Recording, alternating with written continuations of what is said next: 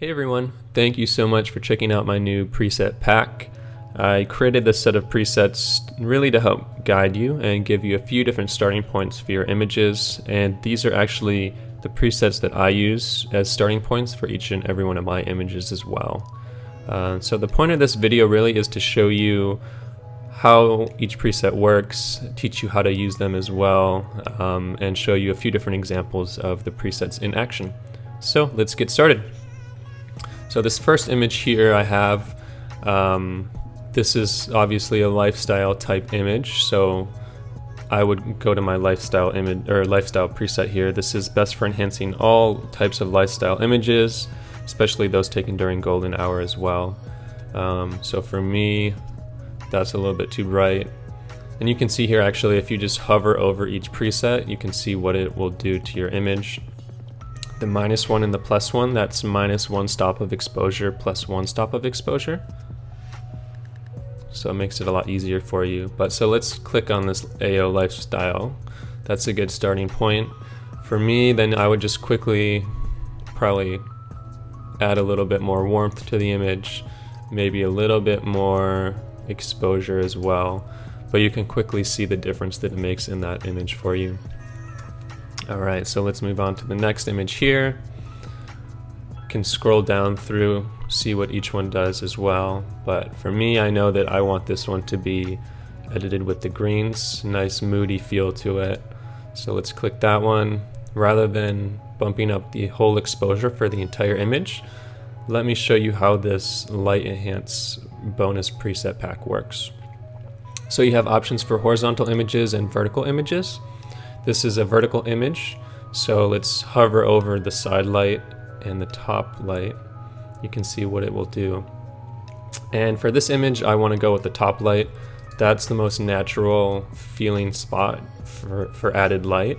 So, and, and when you're using these light enhanced presets, you really want to just enhance the light that's already there in the image. So let's go ahead and do that.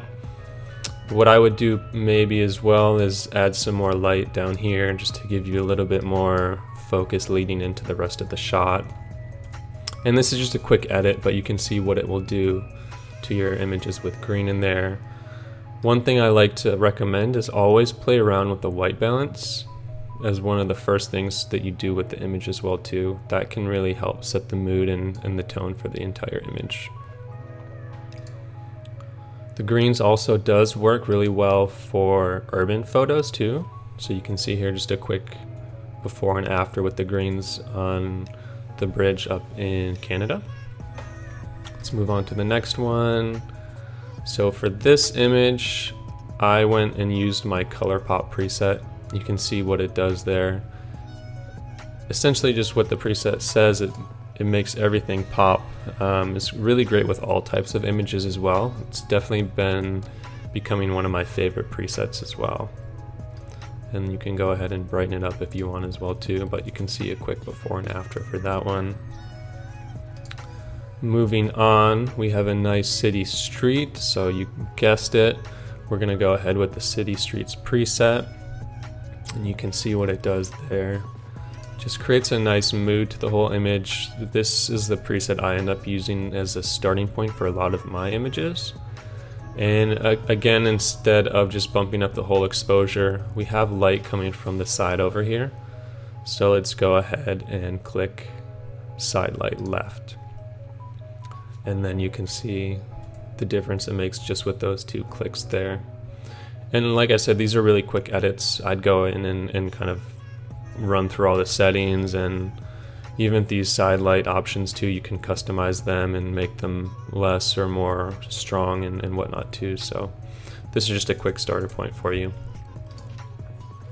Moving on here, this is of the Bay Bridge and this is perfect for Moody Night preset. You can see here, run through them all. I liked having it bumped up, so this is going to be Moody Nights plus one. And then let's adjust the white balance a little bit. So as I'm moving the tint over, I'm getting rid of kind of the, the green that was down here. And then you can go in and if you want to cool off the image a little bit more too, you can pull that down. And then I'd go in and adjust the HSLs, all that stuff too, but you can see what it does to the image there.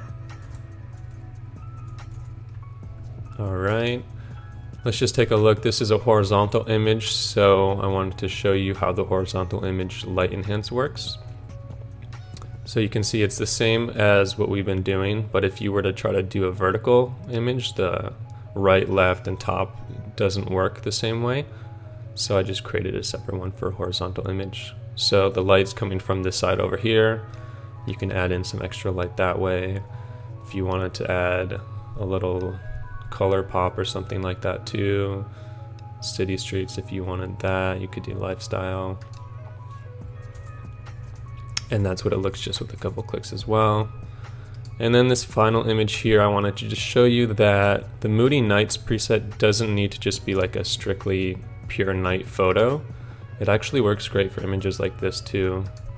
So you can see it click there, maybe brighten it up a little bit, and you can pull down, maybe get rid of some of the, the tint there.